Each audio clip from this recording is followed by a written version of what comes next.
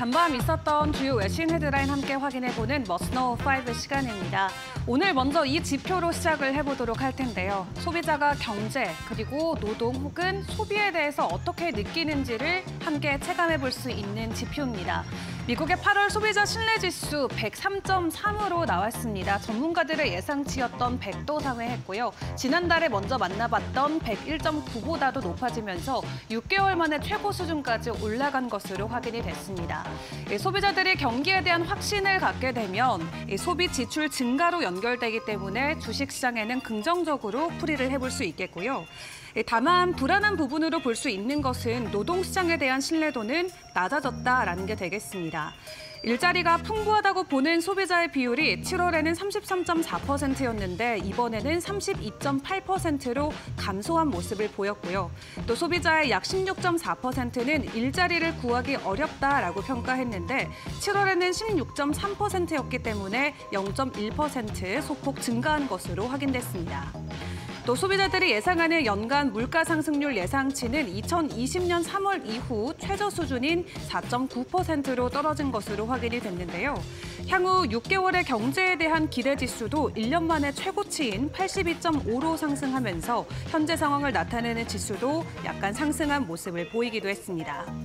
이러한 상황을 놓고 컨퍼런스 보도의 수석 경제학자인 다나 피터스는 노동시장에 대한 소비자들의 평가는 전체적으로 긍정적이긴 하지만 약화가 되고 있고 향후 전망은 더 비관적이다라고 밝혔는데요. 경제나 소비 쪽에 대한 심리는 나쁘지 않지만 노동을 향한 소비자들의 심리가 불안하고 있다라는 부분, 최근에 가장, 가장 두각이 되고 있던 고용과 관련된 부분에서는 부정적인 시그널로도 풀이를 해볼 수 있겠습니다. 그런 가운데 UBS UBS에서는, UBS에서는 간밤 보고서를 통해서 미국의 경기 침체 확률을 다시 한번 상향 조정을 했습니다. 기존에 20%대 예측을 했다가 이제 25%까지 그 가능성을 올린 건데요. 사실 월가에서는 UBS만 이렇게 경기 침체 가능성을 놓고 의견을 나누는 것은 아니죠. 앞서 이달 초 JP모건은 노동시장 압박 완화를 이유로 연말까지 미국이 경기 침체에 빠질 확률을 35%까지 높인 바 있었고요. 아, 반대로 골드만삭스는 향후 12개월 동안 경기 침체 확률을 20%로 낮추면서 월가 안에서도 서로 엇갈린 전망들이 계속 나오고 있는 상황이었습니다. 네, 그런 한편 지난주 미국 노동부가 지난 1년 동안 미국의 총 비농업 부문 고용 증가 추정치를 당초 발표했던 290만 명에서 81만 8천 명 감소한 것으로 조정 발표를 했었죠. 이는 미국의 고용주들이 올해 3월까지 지난 1년간 원래 보고했던 것보다 훨씬 더 적은 일자리를 추가했다라는 것을 의미하는데요. 일단 이에 따라서 시장은 미 연준이 9월 정책회의에서 비컷을 진행할 것이다라는 기대감을 계속 계속해서 높여가고 있는 상황입니다. 이제는 인플레보다는 고용 쪽에 시장이 더 집중하면서 고용과 관련해서 앞으로 시장이 어떻게 받아들일지 아, 주목을 하고 있는 상황인데 UBS의 음, 미국 수석 경제학자인 브라이언 로즈 같은 경우는 팬데믹 동안 축적된 초과 저축이 소진됐고 또 꾸준한 축적률을 위해서는 앞으로 지속적인 소득 증가가 필요하다라고 입장을 보이기도 했습니다. 고용 쪽에서 완만한 시그널이 다시금 나와줄 수 있을지 지표들도 계속 체크해 보는 게 중요할 것 같고요. 아, 그리고 애플 쪽에서의 소식 다시 한번 체크를 해보도록 할 텐데요. 10년 만에 CFO 교체를 합니다. 아, 이제 다음 달이면 아이폰 16이 공개가 되는데 본격적인 이 아이폰 공개 직전에 CFO를 교체한다라는 소식, 애플 주가에는 어떻게 방향이 잡힐지 계속 지켜보셔야 될 것 같습니다. 팀쿡 애플 최고 경영자가 내년 1월 1일부로 최고 재무 책임자인 루카 마에스트리에서 케빈 파레크 현 재무계획 및 분석 담당 부사장으로 교체한다고 밝혔습니다. 다만 기존 CFO였던 마에스트리는 뭐 IT나 보안, 부동산 개발팀을 계속해서 이끌어 나갈 것이라고 덧붙였는데요. 어, 마에스트리는 2014년부터 약 10년 동안 애플의 재무를 총괄한 장수 CFO였습니다. 그가 CFO로 재임했던 기간 애플의 연간 매출과 순이익은 두 배 이상 늘었었고 총 매출 이익률도 확대됐었는데요. 예, 마에스트리의 첫 재임 기간이었던 2014년 애플의 연간 매출은 약 1,830억 달러였지만 작년 애플은 3,830억 달러에 달했습니다. 네, 회사가 가파른 성장을 보인 덕분에 그의 재임 기간 동안 주가도 800% 넘게 올라오기도 했는데요. 예, 그런 한편 새로 오게 되는 파레크 신임 CFO 같은 경우는 기존 톰슨 로이터에서 4년 동안 근무를 한 이후에 지난 2013년 애플의 재무팀으로 들어온 것으로 확인이 됐습니다. 일단 모건 스탠리에서는 이번에 애플 CFO 교체를 놓고 조심스럽게 낙관적이다라는 평가를 내놓았는데요. 또 애플 안에서 새로운 방향성이 나타날 수 있을지 이 부분도 함께 체크를 해보시고요.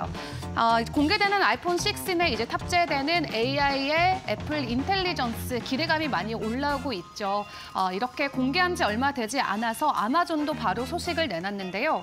어, AI 음성 비서인 알렉사 10월에 출시한다라고 합니다. 원래 이번 달에 출시하는 게 목표였는데 지속적으로 연기가 되면서 10월까지 현재는 밀린 상황인데 이로써 업계 안에서도 경쟁률은 지속적으로 치열해질 것으로 보여지고 있습니다.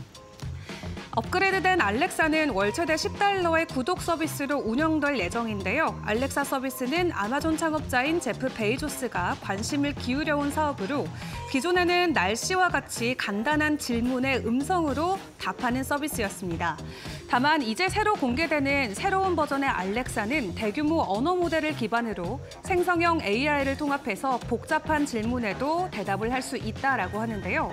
또 스마트 브리핑이라는 기능이 탑재돼서 이용자의 선호도에 따라서 AI가 생성하는 뉴스 요약까지 매일 받아볼 수 있다고 합니다. 또 문건에 따르면 이용자들은 알렉사에 대해 가장 많이 요청한 사항 중 하나가 바로 뉴스 요약이라고 했는데 이런 부분까지 모두 탑재해서 새로 출시되는 알렉사에 대한 기대감 시장에서도 크게 올라오고 있는 상황이고요. 다만 지금까지 아마존이 판매했던 알렉사 5억 대 이상의 기기를 판매했지만 이 서비스는 그동안 만성 적자였습니다. 다만 이번에 새로 출시하게 되는 구독 서비스와 쇼핑 기능 강화를 통해서 그동안 들어갔던 기술에 대한 개발 비용을 모두 만회하겠다라는 게 현재 아마존 측의 입장인데 동시에 오픈 AI 그리고 구글, 애플도 동일한 서비스를 출시하는 만큼 이 업계 안에서 누가 최후의 승기를 거머쥘 수 있을지 계속 지켜보시는 게 좋겠습니다. 마지막으로 암호화폐 쪽도 함께 확인을 해보시죠. 아, 간밤 비트코인은 좀 추가적인 가격 하락을 이어갔습니다. 6만 5천 달러까지 올라가는 자신감을 주말 사이에 보여줬다가 오늘 새벽 기준으로는 6만 1천 달러 선까지 내려왔는데요. 예, 그럼에도 긍정적으로 함께 지켜볼 소식은 바로 나스닥이 아, SEC에게 비트코인 지수 옵션에 대한 신청을 완료했다라는 게 되겠습니다. 이 블랙락이 진행하고 있는 IBIT와 같이 비트코인을 기반으로 하고 있는 현물 ETF를 추종하는 또 다른 지수 옵션을 신청한 건데요. 만약 SEC가 승인을 해주면 비트코인 안으로 도 유동성이 증가될 수 있는 부분이 현재 기대감으로 올라오고 있습니다. 긍정적인 소식들은 계속 전해지고 있지만 최근 비트코인의 주가 한 번 반등 이후에는 되려 다시 주가 조정을 받고 있는 상황인데요. 만약 여기에서 승인이 된다라고 했을 때 추가적인 가격 반등이 나올 수 있을지 함께 지켜보시죠. 지금까지 머스노 5 시간이었습니다.